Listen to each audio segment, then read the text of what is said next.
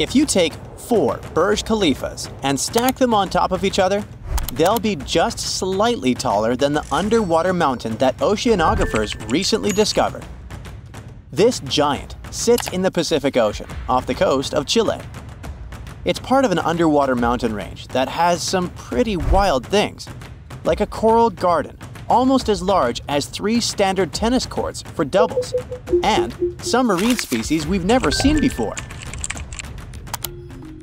A group of scientists from the Schmidt Ocean Institute explored the mountain on a special research vessel.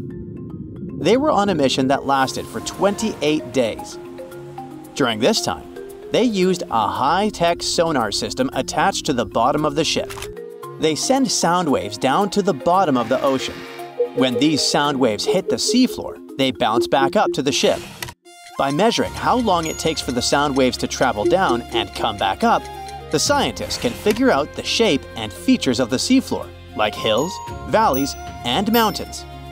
Right now, we only have detailed maps for about 26% of the seafloor, just a little more than one quarter. But the seafloor covers about 71% of the whole Earth's surface. The team of scientists used a special underwater robot to study one of the mountain's ridges and found a whole bunch of creatures. One of them was an octopus, looking like a little ghost. It was all white, and the scientists nicknamed it the Casper octopus because it reminded them of the friendly ghost Casper. No one had ever seen this kind of octopus in the southern Pacific Ocean before, so it doesn't even have a real scientific name yet. The team also found another strange animal, an underwater creature looking like spaghetti. These guys are very rare, the scientists also recorded the first official footage of a special, rare type of squid. Before this, they only knew about it from a few lifeless specimens they had found. Over three expeditions to the Nazca Ridge, the scientists managed to explore and map 25 underwater mountains. They also cataloged 150 species they had never seen before, and there are 20 more potentially new species just from the latest expedition. They're going to share all these discoveries with a group called the Ocean Census. Their goal is to identify about 100,000 new species in the next 10 years. They hope to understand the deep ocean better and find ways to protect all the amazing life down there in this way. There are more than 14,500 identified seamounts, or underwater mountains, in the world's oceans. But satellite data and data from survey ships shows us there could be over 100,000 seamounts. Most of them are leftovers of extinct volcanoes. You can mostly find them in places where Earth's giant puzzle pieces, the tectonic plates, meet and move apart. When it happens, hot magma from inside the Earth rises up to fill the gaps. When the magma cools down, it creates new crust and sometimes builds up into seamounts or volcanoes. Seamounts are also formed near subduction zones. These are areas where two plates are pushing into each other. When one plate is forced down under another, it dives deep into the Earth's hot inside the crust that goes down melts and turns into magma again. This hot magma rises back towards the surface because it's lighter than the surrounding rock. When it reaches the seafloor, it erupts, and volcanoes and seamounts are born. Seamounts are normally shaped like cones, but some leave craters, ridges, or flat tops, as if someone cut off the tip of a cone. The general requirement for a seamount to get that title is to be at least 3,300 feet tall from the bottom of the ocean. That's about three times as tall as the Eiffel Tower.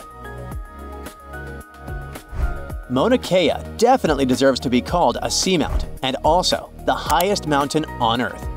Yep, Everest has nothing on it if you compare their heights from the bottom to the top. Mount Everest is very heavy because it sits on top of a thick, dense continental crust. This crust already has a lot of weight pushing down on it from the mountain above, so it can't support much more height. Mauna Kea is on a thinner oceanic crust, which has less rock above it and more water. The oceanic crust doesn't have as much weight pushing down on it, so it can hold up a taller mountain like Mauna Kea. This seamount beauty is about 1 million years old. It was in its active stage of life hundreds of thousands of years ago. The last time it erupted was 6 to 4,000 years ago, and it's sleeping now, but could still wake up at some point in the distant future. Even though it's in Hawaii, Mauna Kea has an alpine climate. The temperatures can change a lot from day to night, but they don't change very much from season to season. Snow at an altitude of 11,000 feet and higher can fall here at any time of year, but it happens the most often from October to April. It didn't stop the ancient Hawaiians who lived in caves at these heights and quarried basalt for cutting tools. The top of Mauna Kea is one of the best places in the world for looking at stars and planets because the conditions up there are just perfect for it. First, the summit is in a very dry area, which is important for astronomers. When scientists study light from stars and galaxies, they need clear air without moisture like water droplets in the air. This dry air helps them see better when they look through telescopes. Second, the summit is higher than what is called the inversion layer. This means that most clouds are below the top of the mountain, and astronomers can see the sky clearly without clouds blocking their view.